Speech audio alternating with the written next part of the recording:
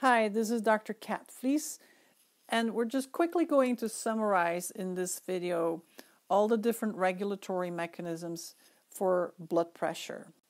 We'll start out with a simple flowchart that doesn't quite include the renal mechanisms directly, where if we take a look here at the start where our blood pressure is dropping, or we might have a drop in blood volume, which of course ultimately leads to a drop in blood pressure. We have two major mechanisms neural mechanisms, endocrine mechanisms. Again, we'll look at renal mechanisms on another slide.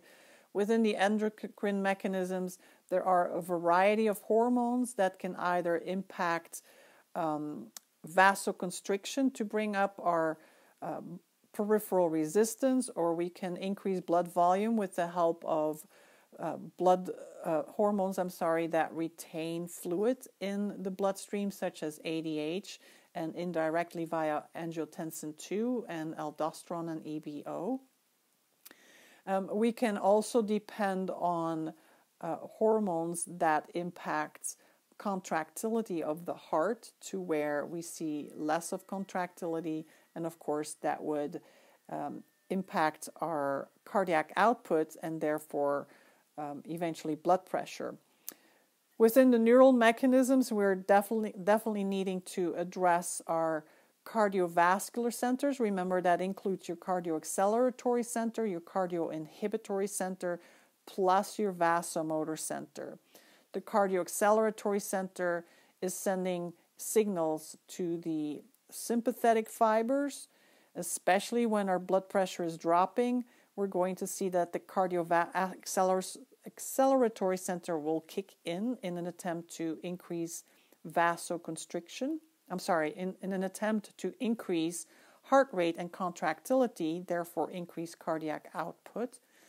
We're going to see that in under low blood pressure or decreasing blood pressure, our cardioinhibitory center should be inhibited such that the parasympathetic fibers will not slow down the heart. We want to maintain good cardiac output to maintain a, a good blood pressure.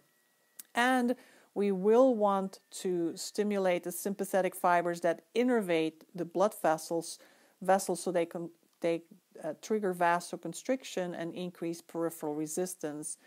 And for that, we need to stimulate the vasomotor center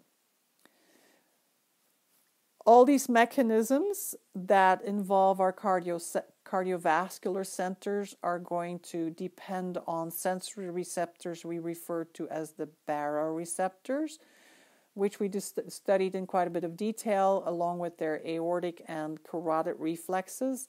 We didn't say much yet about the chemoreceptors. They respond to changes in pH, carbon dioxide, and oxygen levels, and their ultimate response will be the same way as the baroreceptors, and they can influence blood pressure as well.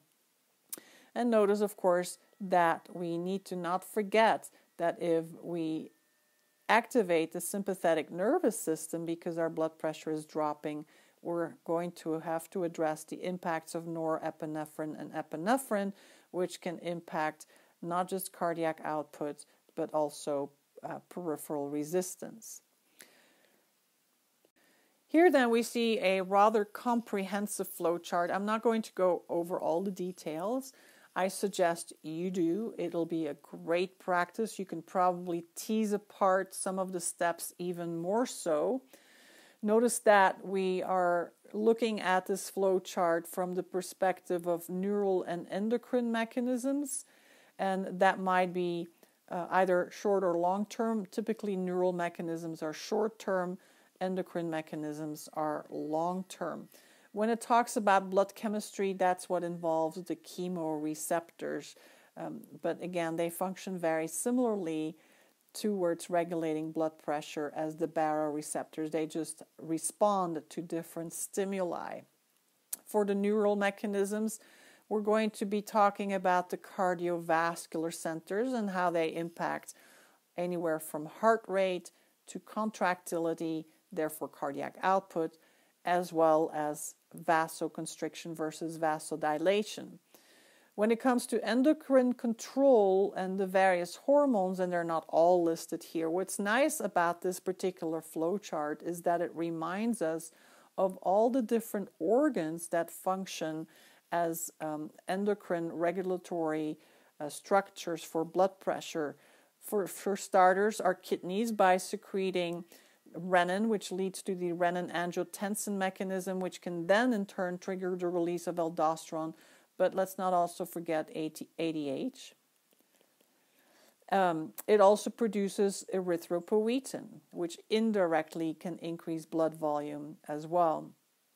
The adrenal gland is a hormone producing gland, particularly, we're going to see that the um, adrenal cortex will produce epinephrine and norepinephrine, which are part of a group of hormones which we call the catecholamines. You'll see that term used, implying that they're made up of amino acids. The adrenal gland also produces um, aldosterone from the adrenal cortex. Oh, I misspoke, by the way. The epinephrine and norepinephrine are produced by the adrenal medulla, while uh, aldosterone is produced by the adrenal cortex. The brain with the pituitary gland is going to be involved in producing antidiuretic hormone, which, when the blood pressure is low, is going to be released is going to be released in an attempt to retain water in the blood and that brings up our blood volume and therefore blood pressure and finally the heart which in response to high blood pressure will release antidiuretic hormone that antidiuretic hormone i'm sorry atrionatriuretic hormone um, I've ma- been making too many videos. I think it's time to stop. So, the heart produces, in response to a high blood pressure, atrial natriuretic hormone or factor. As the atria are stretched and this hormone is released in response to high blood pressure, we're going to see that this particular hormone is going to promote the getting rid of salts, and that promotes the getting rid of water from the bloodstream. Therefore, we urinate more, less blood, blood volume, we bring down the blood pressure. So I've just picked uh, little areas here to expand on, but be sure that you can do that with other parts of this flow chart.